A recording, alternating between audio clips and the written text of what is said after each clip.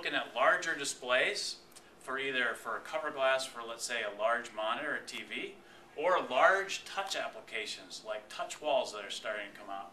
Uh, one of the tests that we've run up against is this ball drop test. Now, they take, this is a steel ball, 535 gram steel ball. It's a little over a pound.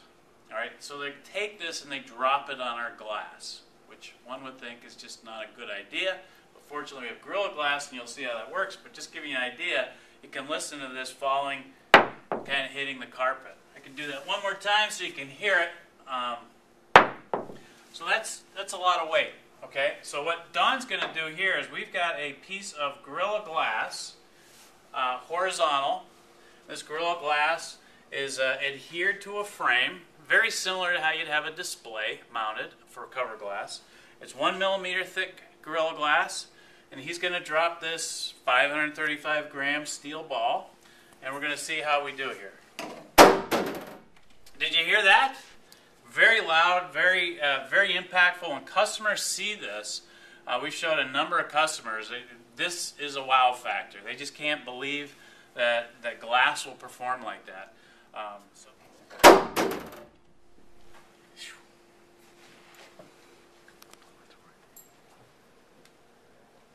They really You know, for the, the sound, the fact that you can take a one pound steel ball and drop it from a meter um, and the glass is not fractured. A piece of Gorilla Glass, um, we've done tests 65 miles an hour and that thing just bounces right off the Gorilla Glass. Very similar to what you see of this steel ball right here.